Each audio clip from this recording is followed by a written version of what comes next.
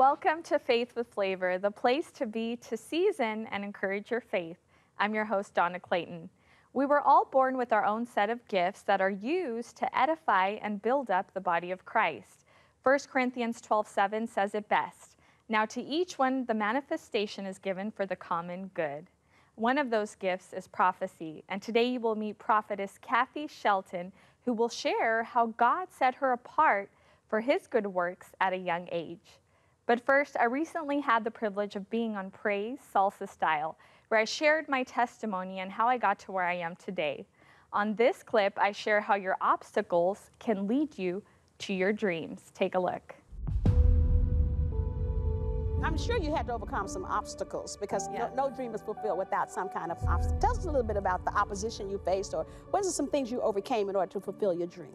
Well, I think we can all relate on a level where sometimes, you know, we have those dry spells and those dry seasons right. where you don't feel God. And I was entering one of those levels.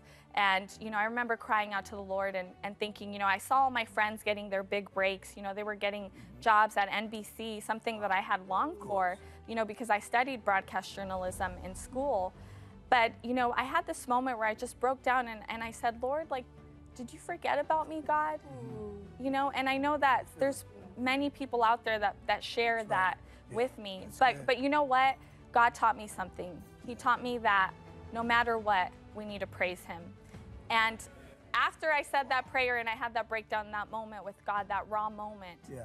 you know, one month later, I was offered the position of network coordinator for the Salsa wow. Network. So you wow. just gave it to the Lord? Yeah. Yes, yeah. I did. You literally cast yeah. that care upon the Lord. Well, Donna, I want you to look into that camera. I want you to look into that camera and encourage someone who is expecting God to fulfill the dream they have. You have millions of young people watching right now who have that same expectation they've gone through, what you've talking about. They're going through this dry spell.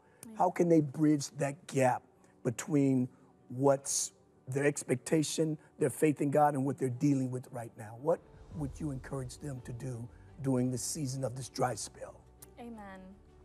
I believe that it is not by chance or coincidence that you're watching right now. God wanted you to tune in to be encouraged because there is no dream that is too big for God. We serve a God who is bigger than any dream you've ever had. Wow. And He is able to fulfill any dream that is in your heart. And I just want to encourage you don't give up on that dream. God has so much more in store for you. And this is only the beginning of what He has for you because you know what? You know, I know what it feels like to be in that dry spell and not know where to turn, not know what God was going to do in that moment. But I trusted God and I believed and I said, Lord, I'm going to continue to be faithful. Even when I don't feel you, even when I don't see you moving in my life, I'm going to continue to serve and trust that you have a plan and a purpose.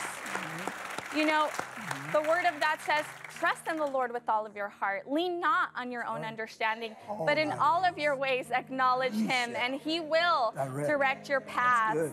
And that is your scripture for today. I believe there's a man watching right now, and you feel like your hope has been deferred. But I'm here to tell you today that with God, there's always hope. Yes. There's no such thing as hopelessness in, uh, in the eyes of God.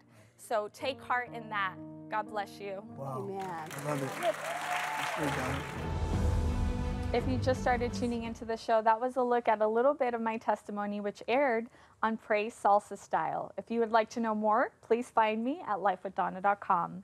And now, without further ado, let's meet our special guest for today, Prophetess Cathy Shelton. Thank you so much for Hi, being here. Precious. I'm so excited about being here. That was powerful what you said about um, no hopelessness in God. I believe that wow. so much because, you know, I feel like there's so many people that are living their lives without hope. And yeah. that is so not our God. Our God is full of hope. Every day He gives us new promises to fulfill mm-hmm. and new dreams. Yes. And there's people out there that need those dreams to be born. And, you know, of course, there's a season and a time for everything. But I also believe, Cathy, that we have to be bold in the pursuit of what sets our souls on fire. You know, we have to be bold in the pursuit of the things that we know God has birthed inside of us, mm-hmm. you know. And sometimes it starts like a little bitty seed. Like when you see a tree outside, it started with a little bitty seed. And you need to water that seed until the birth comes forth. Amen. Yeah. I agree. God is and good. Yes, You know, we go through trials, and he says, Yea, though I walk through the valley of the shadow of death, I'm not going to fear an evil. And sometimes you're going to go through valleys in your life Amen. where you die right there to your will, what you think. Mm-hmm. And so I call it DRT, where you die right there in the valley. But what God taught me is that He seasons you in the valleys of your life. Amen. You have salt and pepper, and you got seasoning salt, so people can taste and see that God is good in you. So there's a seasoning that takes place when you go through the valley as you hold on to God and meditate and stay in His Word. Amen. Sometimes people say, well, trials make you strong. No, it's the Word of God that makes you strong. I agree. I, I agree. And you are very strong. You are strong in the Lord and the power of His might. And when I met you at the NRB, I That was fun, huh? it was so fun. It was Yeah. so God, you know. And now we're here, and the show is happening. but you know, give us a little insider look on you. Like, what was life growing up for you? Were you always, you know, this strong in the Lord? No. I had to go through some valleys and get stripped and stripped and stripped and stripped. You know, I was married to, um, I'm an NBA wife or ex NBA wife, and I'm, I'm one that's almost gained the whole world and lost my mind, lost my soul. Mm. But I had to, you know, I'm a healthy girl now. But I was, I went down to 118 pounds just from going, being sick and throwing up a gallon of blood in, in a carton, just from going through bitterness and resentment, you know. Mm. And I went in the closet one time when I was married to my husband. And God said, You need to go on a fast. So I just put a pillow in there and I fasted for like three days. And I said, I'm not coming out until I find out what's going on. He said, It's you. You have bitterness in your heart towards your husband. And I don't care what he did, I want you to forgive him. So, because he'll go on with his life and you'll be sick. So it was a process. He taught me I couldn't love on my own and I couldn't forgive on my own. But he said, I'll put my spirit within you, and my spirit within you will cause you to walk in my character hmm. to forgive. So sometimes it's a process, Mm-hmm. and sometimes he'll do it all at once. Mm. Yeah. But God is good. Yes, He is. Amen. And what is one of the biggest lessons that God has taught you so far? Be humble and know that God is with me because he said, Nothing shall separate you from the love of God. Nor death, nor life, nor things to come, nor things in the past, nor things present. Oh God, my tongues. But that nothing, no thing shall sever mm. your soul from God. Nothing shall separate you. So, you know, I used to be concerned about having a breakdown. He said, What you think what are you worried about that for? If you lost your mind, I know how to give it back to you because I'm the shepherd and the bishop of your soul. So for those that think that uh, you're going to lose your mind, don't worry about that. Because the Bible says when the king's heart is in the master's hand, Amen. your mind, your will, and emotions, when your heart is in God's hand, he'll change the way you feel. Amen. So, you know, I was raped uh, a couple years ago by uh, an attorney, and I hated him. I loved him and I hated him. At the same time, I said, God, I don't want to hate him. But he said, But you promised me if I would put my heart, your mind, your will, your soul, your emotions into God's hands, he said, I will change your emotions. Mm. I mean, I felt a shift. It's like, mm. oh my God, I could see him on television, and it wouldn't affect me. So just because you go through brokenness or maybe you're going through a divorce in your life, it doesn't mean that you have to lose your mind. Because Isaiah, eh, Isaiah 33 6 says, I shall be the stability of your times and seasons. So everybody's in transition. I don't care. It says Ecclesiastics, a time to live, a time to die, a time to love, a time to hate, a time for war. Mm-hmm. But God said, I shall be the stability mm. of your times and seasons. And in that word stability is ability, meaning that you can do all things through Christ, who is the strength. Strength also means soundness and sanity of your mind. So you can make it through the valleys. It doesn't matter what you're going through divorce, somebody had an abortion, Jesus. And God says He loves you very much. Mm. And there'll be another birth, but right now He wants to heal your mind. Wow, Wow. Praise God. That's powerful. I love how you just walk in your calling and your gift. Did you always know that you were going to be a prophetess growing up? No. How, did, how, how was that born? I want to know. Uh, I just, I just, I just remember being taken away from here, like in the presence of God as a little bitty girl, like three years old. I was sick and in the hospital, but like about three. But um, when I was nine, the gifts just started flowing without me knowing, you know, just I could just tell you things about people. So I didn't really, it just flowed. He said, I knew you before I placed you in your mother's womb, and I called you then and set you apart then. Amen. So, and the gifts and the calling of God are Yeah. without repentance. and I pray a lot. Yeah. And you do. You spend time in, in prayer, which is key, right? Yeah. And the word too. And the word. Yeah. You have to study the word. It's not just flowing in the gifts. I study. You know, there's a lot of young people that watch this program, Mm-hmm. and I want our young generation to be full of the gifts and the callings of God. I want them to to be, you know, these people that cast vision and that are able to encourage and build up the body of Christ, like that scripture in, in Corinthians says. Mm-hmm. Well, he's really going to use you because you're a general. I know this is supposed to be my interview, but go ahead. But I want you to encourage those young people watching. You know, maybe there's there's a girl watching and she feels Mm-hmm. like she has that same prophetic gift, but she doesn't know how to bring it forth. Well, sometimes um, I I see, um, yes, you've been tainted, but God's still going to use you. He's going to use your testimony. And you've been misunderstood because you're different, but the Bible says we're peculiar. And so the, the dreams and the visions are real. But I say stay connected with the body of Christ. Um, you never see your arm walking down the street by itself because the Bible says the body jointly supplieth. The eyes can't hear, and the feet can't speak, and the arms can't see.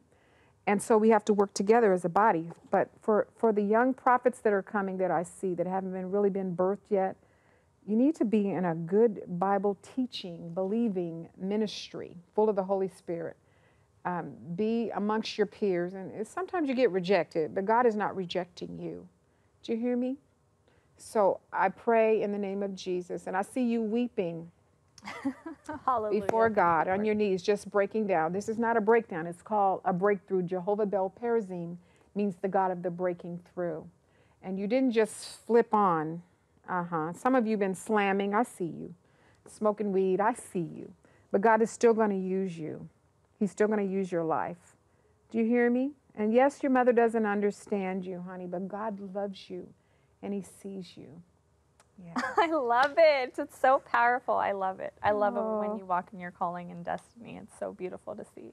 I want to go back to that place where you were talking about where you had it all. You were an NBA wife and it didn't satisfy your soul. No. When did you come to that realization that money, you know, and things weren't going to Well, buy you? actually, my happiness? husband, I God used to tell me, tell me, Cathy, I want you to give me your husband. He was an idol to me. I put him before God. Mm. I used to have my hands like this. He said, "Give him to me," and I wouldn't. So he had to pry. Mm. Yeah, you put. You're not supposed to put man before God. I loved him, but you can't. He can't replace. He told me he can't give you everything you need, Cathy, because he doesn't have it.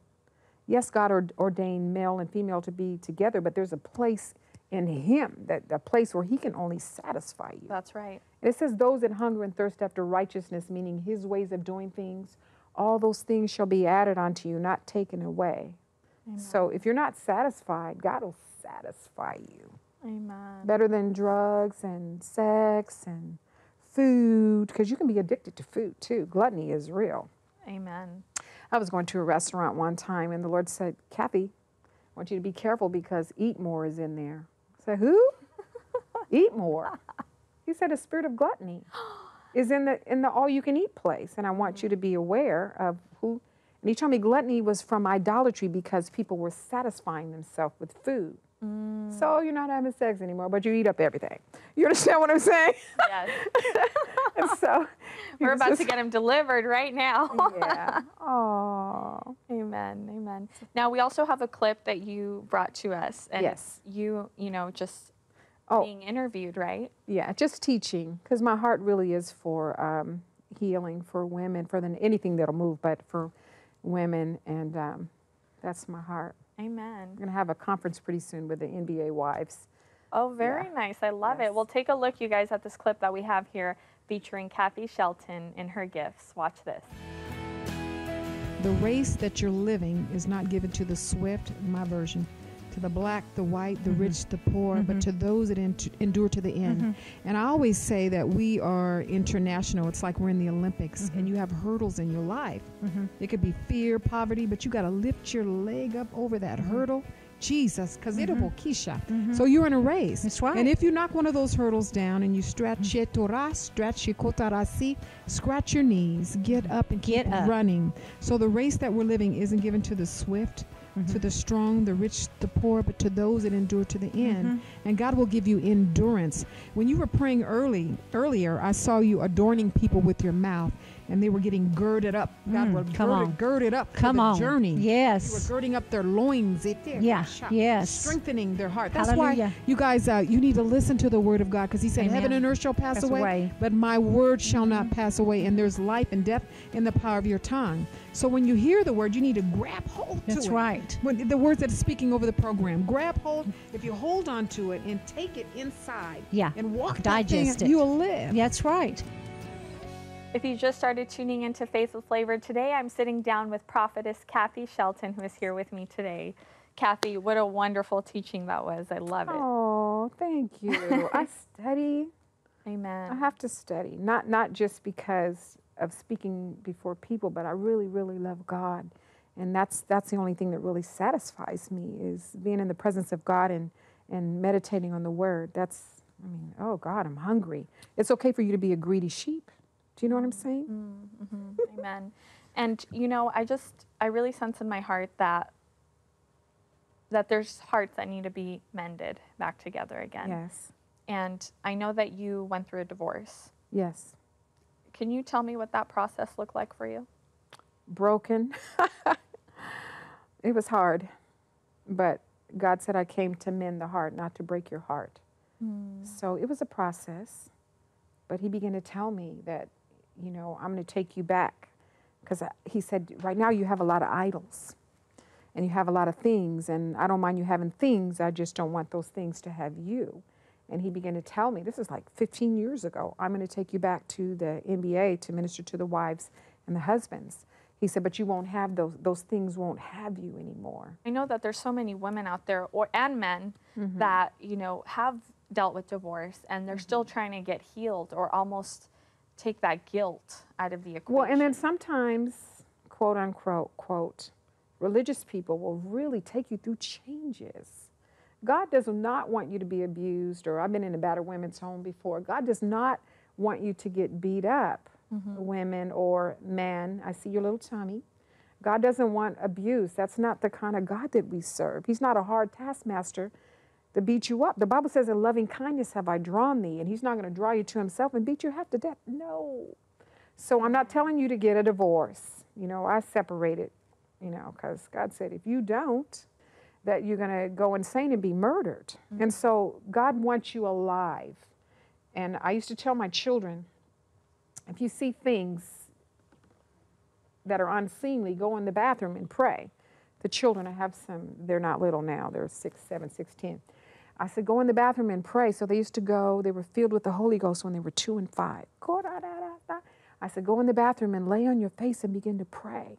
Amen. So I don't, anyway, but God wants you healed and there's life after divorce. And um, I'm not telling you to get a divorce, but I'm saying stay in fellowship with God. And God is a healer, and sometimes it's a process, and He wants the best for you. God is not a thief that comes to steal, kill, and destroy. So he's not trying to kill you. So right now I bind up the broken heart in the name of Jesus. Jesus. I bind the broken heart. I bind it up in the name of Jesus. I see a suture. I bind up the broken heart in the name of Jesus. I bind up the shame and guilt because you yes. feel like it was your fault. Mm. No, ma'am, you'll never be good enough for him. No. Mm. Jesus. And God wants to heal you. So don't be afraid of the process. And, and I hear nothing shall separate you from the love of God. He taught me no thing, no thing, no entity. I bind psychotic break, bipolar, tripolar. I was telling my girlfriend earlier um, about sometimes you, can, you need deliverance, and it's okay. It's okay for deliverance. If you can't go to the church and bleed on the carpet, where can you go? Amen. Oof. Amen. Oof. I've had some of my biggest breakthroughs just right there on the altar, crying my eyes out in front of the Lord, in front of everybody else. But I didn't care because God was there to meet me, right? and for the homosexual that's a secret homosexual in the closet, well, the cover's going to be pulled off so you can be healed. God's going to un.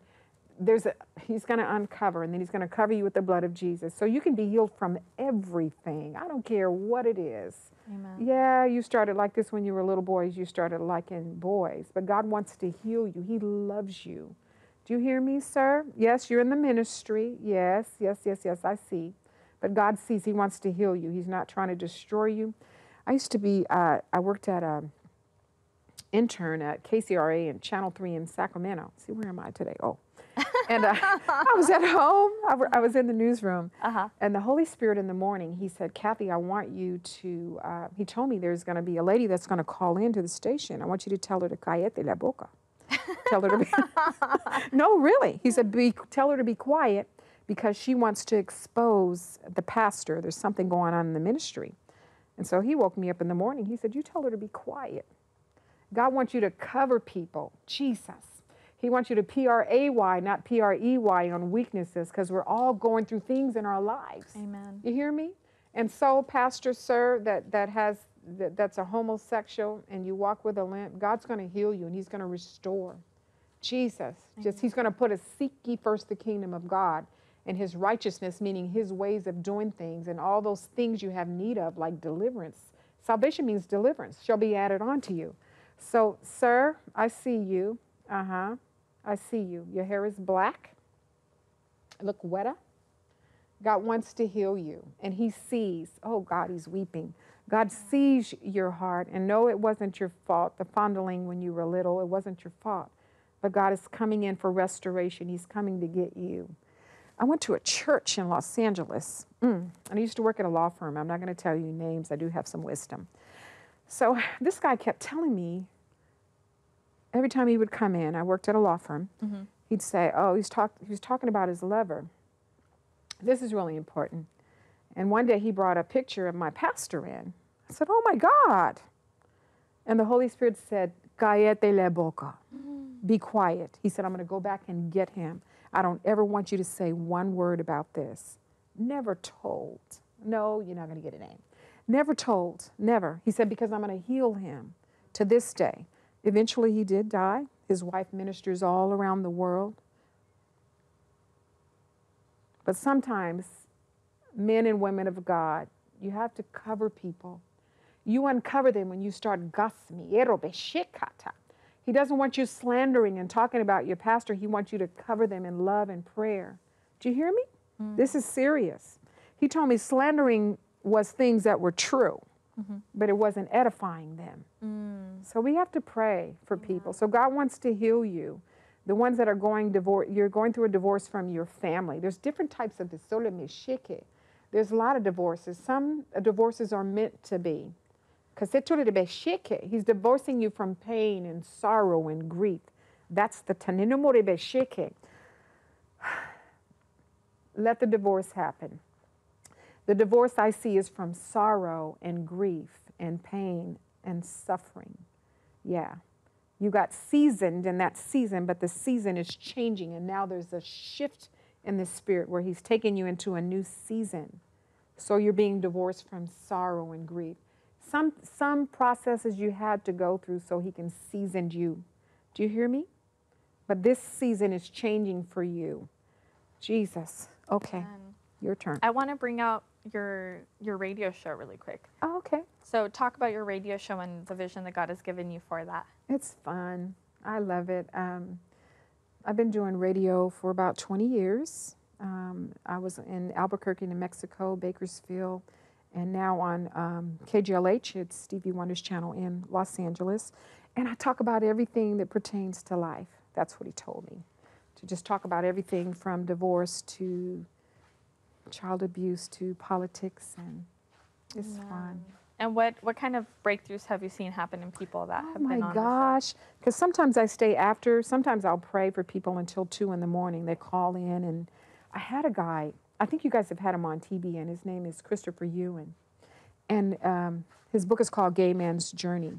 Mm-hmm. So on that show, I only got one minute. On that show, a lot of people began to call and confess that they were sleeping with a, another woman or another man, and there's breakthroughs. And they said, Cathy, when you begin to pray, all that stuff broke off Wow. because you don't God. have to stay the same. Praise God. Amen. Really quick, you know, we only have a little bit of time, but I just want you to pray for our audience watching. Just look into the camera for me and however the Lord So leads. okay.